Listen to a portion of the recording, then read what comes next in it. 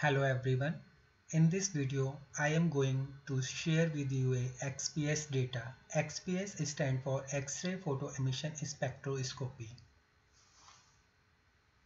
Here I will explain the baseline correction and multi-peak fitting in OriginLab.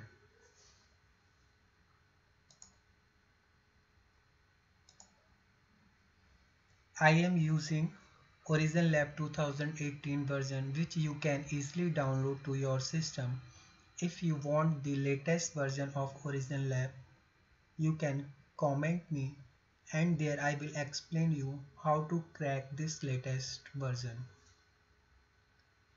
So first of all, now question is why we need the baseline correction of our XPS, XRD or Raman data.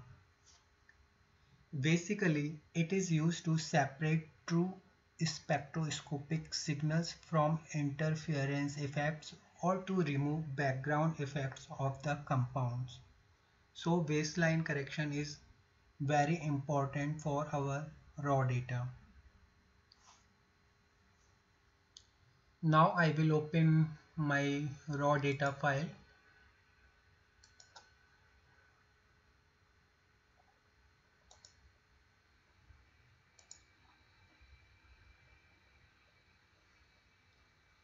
So first column give you the binding energy and second column give you its intensity.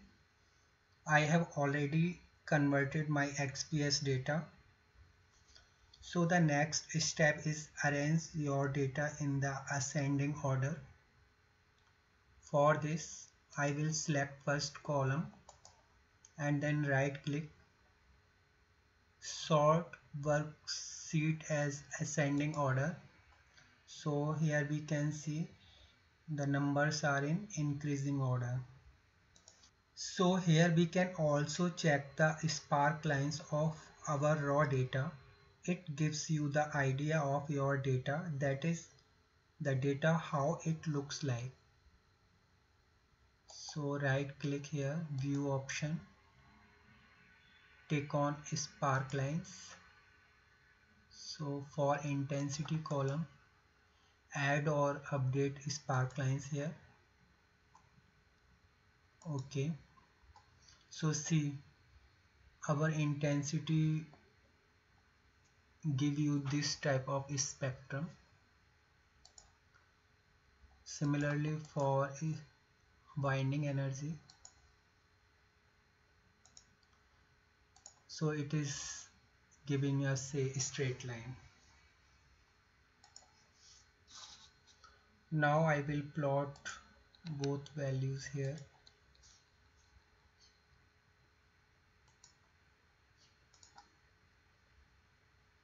So it is a scattered 2D plot.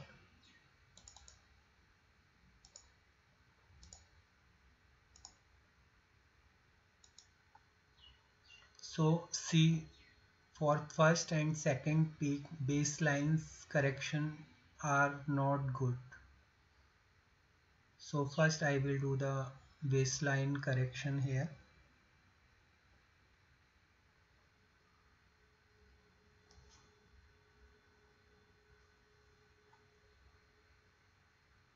So I will go to the analysis part.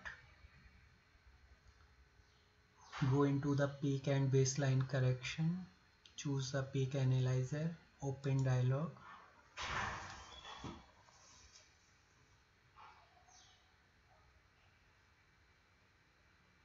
so dialog theme contain baseline mode baseline treatment find peaks integrate peaks. So it's up to you which part you want to do. So first I am going to create baseline for my data. Next. So we can choose baseline mode according to our data. We can see XPS endpoint weighted asymmetric least square smoothing and so on. So I am doing for user defined so the number of points to find is here 8 let's click here. So we can see here 8 anchor points are selected. I can select many more anchor points here. Now I am modifying these anchor points to correct the baseline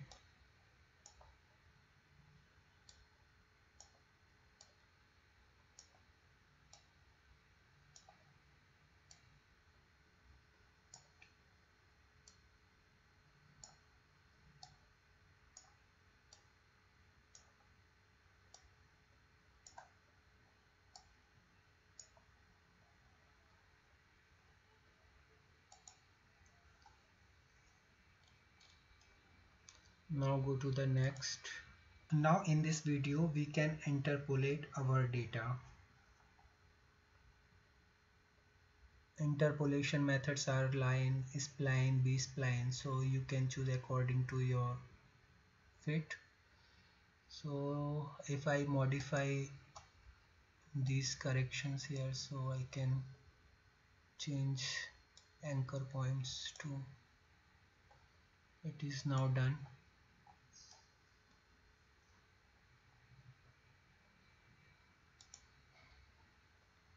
finish. Now we go to the data manipulation part. Subtract the reference data.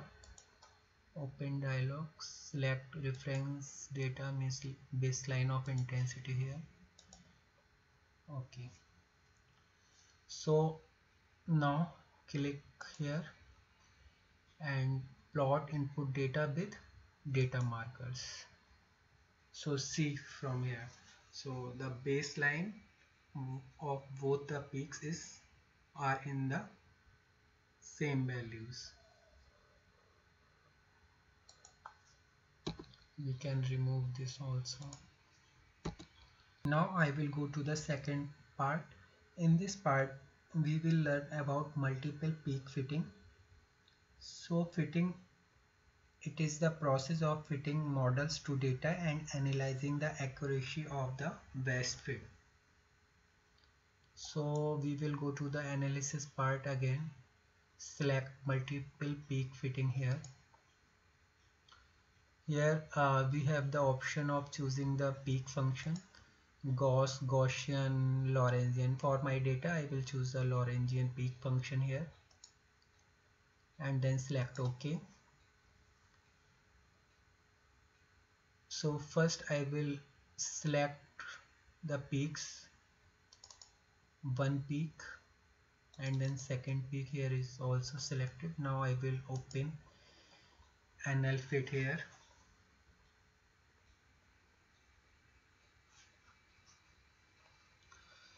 So uh, we have different parameters here so this is the formula for Lorentzian fitting.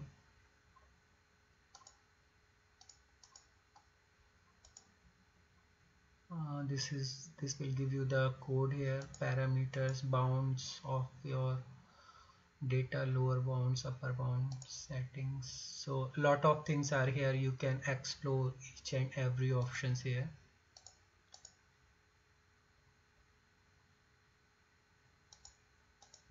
so we have here iteration method. So iteration is basically the the process of doing something again and again usually to improve our data.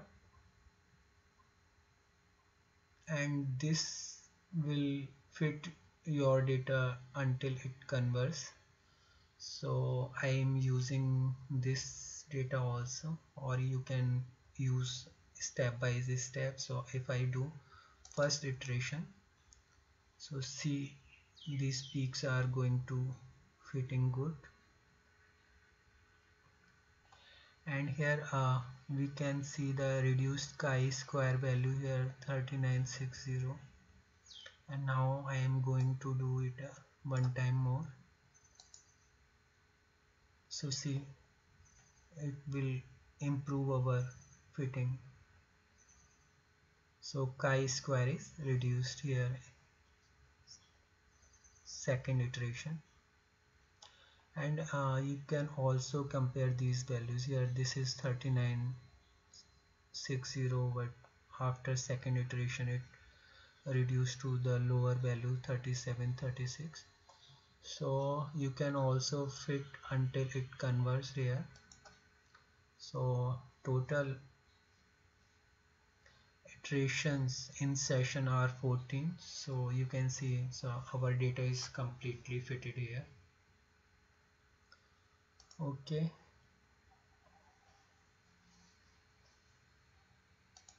Yes.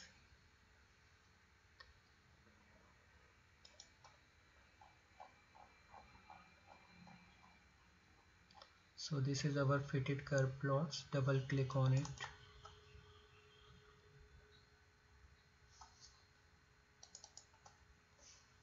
so it will open your data. So this is the model Lorentz model. So equation for this Lorentz model is given here. So all other parameters are summarized in this table.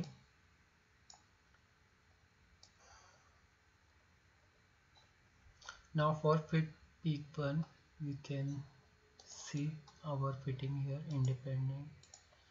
So we can width we can change the width of, of our data.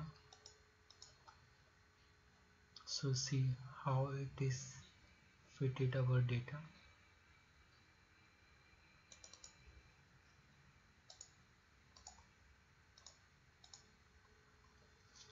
So you can see here both peaks are fitted well. Cumulative peak we can also change here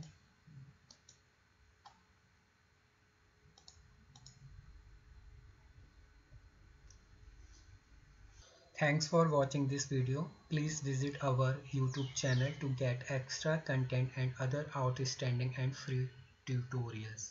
Thank you.